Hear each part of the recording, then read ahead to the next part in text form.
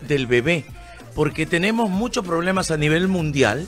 Muchos niños no pueden nacer porque quizás no tienen una buena nutrición o el lugar donde están no pueden venir a este mundo. Y el banco del bebé les da una oportunidad y sobre todo que estén tranquilos sus padres. Pero, ¿qué es el Banco del Bebé? ¿Quieren saber un poco?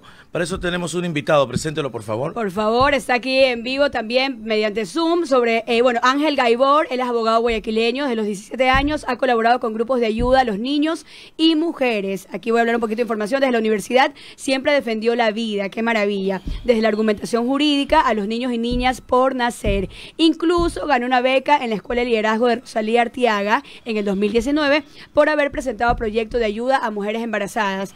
Ángel, bienvenido a este espacio, qué increíble poder tenerte, eh, conocerte y saber un poco acerca de este banco, el banco que salva vidas, el banco del bebé.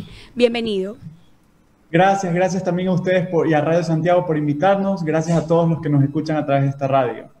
Maravilloso. Cuéntame, Ángel, esta labor increíble, ¿hace cuánto nació? ¿Qué es lo que están buscando? E, e, esa parte, bueno, es un tema bastante de debate, sobre todo en las redes sociales, el tema de tener o no tener bebé, eh, quedar embarazada. Bueno, pero realmente es una vida, o sea, va más allá de, de, lo, que, de lo que haya sucedido. Pero bueno, es un tema bastante complejo. Pero cuéntame un poquito acerca de la fundación. Sí, claro. Mira, bueno, cuando yo tenía 12 años yo acompañaba a mi mamá al hospital. Mi mamá es obstetriz y ella hizo la rural en un sector en la provincia de Los Ríos y yo la acompañaba usualmente. Y veía cuál, cuánta necesidad había porque ah, pues, atienden a mujeres embarazadas y muchas de ellas consecuencia de un embarazo vulnerable. Es decir, consecuencia de violación, de abuso, embarazos donde no hay una buena nutrición, como decía Richard hace un rato, embarazos donde hay abandono por parte de su pareja, mujeres que han sido violentadas física, psicológicamente y que llevan su embarazo de una manera vulnerable, que se desencadena en un bajo estado nutricional. Y cuando la mamá está mal, el niño o la niña que está dentro también están mal. Entonces, justamente pensando en este grupo vulnerable que hoy está invisibilizado, pues decidimos eh, integrar este proyecto que se llama Banco del Bebé. En junio de este año, en plena pues, época post-pandemia o pandemia, nació del Banco de Alimentos del Ecuador esta idea.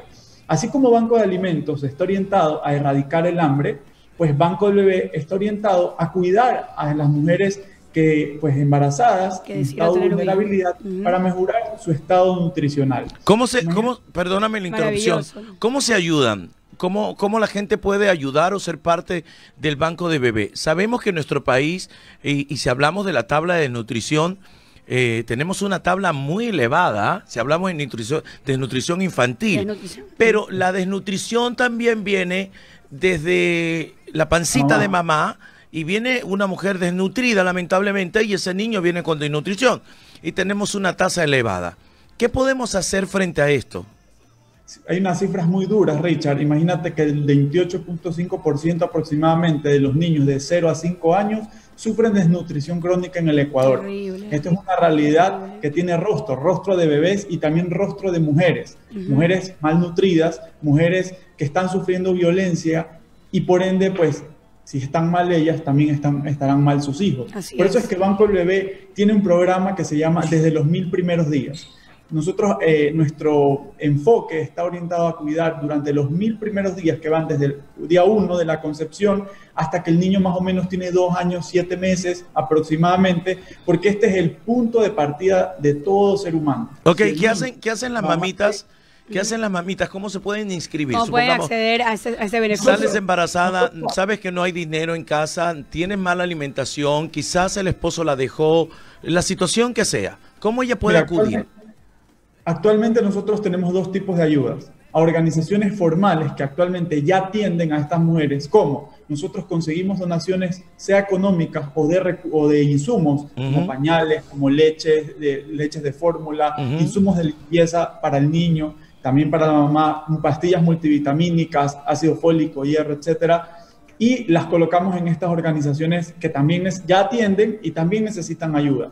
Pero también tenemos casos individuales casos que nos llegan a través de las redes sociales, bancodelbebé.es, que es nuestra red social en Instagram, y nos escriben y nos dicen, mira, conozco este caso que pues esta chica ha sido abusada, ha sido violada, o ha sido abandonada por su pareja sentimental y no tiene cómo llevar su embarazo. Entonces nos contactamos, hacemos un poco el estudio del caso que efectivamente tenga una causa de vulnerabilidad y pues procedemos a destinar la ayuda. Actualmente nosotros podemos recibir tres tipos de ayudas. La económica, que es pues, suma de dinero que alguna persona, empresas, organizaciones quieran realizar a través de la cuenta del Banco de Alimentos del Ecuador, nos hacen llegar o también a través de insumos, como les decía hace un rato, ¿no? Pero también algo que es súper importante es que actualmente necesitamos manos, necesitamos jóvenes que se quieran involucrar. A mí me este involucrar, pero dijiste jóvenes, ya levanto la mano.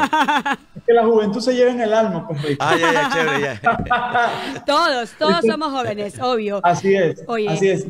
Pues eh, hago un llamado a todos los que nos escuchan pero especialmente, como les decía en su rato, yo veo que hay muchas, hoy en día, mucha gente que se involucra, por ejemplo, en causas como la defensa de los animales, el medio ambiente, y está muy bien, pero también creo que es importante involucrarnos en este tipo de causas que están invisibilizadas. Ser, como yo siempre digo, ser la voz de los que no tienen voz. Entonces, sí los invitamos justamente a que se involucren, a que sean parte de este proyecto. El único requisito es el deseo de servir.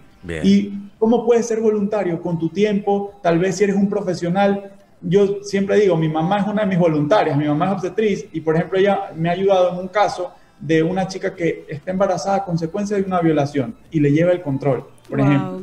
Mira, otra, otra institución nos ayuda con la atención psicológica de este caso, por ejemplo. Entonces, así esto es como, como una, cadena de favores. Red, una red de, personas que se involucran, que van ayudando y van haciendo que el proyecto pueda salvar más vidas. Como tú decías hace un rato, es un banco que salva vidas. Mira, desde ahorita, desde ya te lo digo públicamente, contamos con Daniel Arroyo, la Fundación Daniel Arroyo, para hacer una brigada médica. Eh, tú me dices la fecha, creo que sería, lo próximo sería en enero, que ya estamos de la ceja al ojo, como comúnmente se dice Hablamos con él, eh, yo me pongo en contacto contigo, ya después pido tu número telefónico y cruzamos para hacer una brigada médica para mil personas. Tenemos desde equipos de eco y todo eso. Eso es lo que yo realizo. Y eh, aquí estoy a las ah, órdenes, a las órdenes porque creo que el hecho de decirlo cualquiera lo dice. Porque hay algo que yo aprendí en el coaching. Muchos pueden saber, pero saber y hacer, esa es la diferencia, inaccionar. Y te felicito porque la tabla que tenemos es alta. Si el 1.6, hablamos de un millón a 300 mil personas. Imagínate el 28.6 de desnutrición es demasiado millones de niños. Entonces tenemos que por algún lado empezar. Así que muchísimas gracias, compadre. Ángel, que Dios te bendiga. En serio, Ángel, gracias, de verdad. Nuevamente, por favor, repite la cuenta, Banco del Bebé, para que la gente pueda sumarse a esta causa.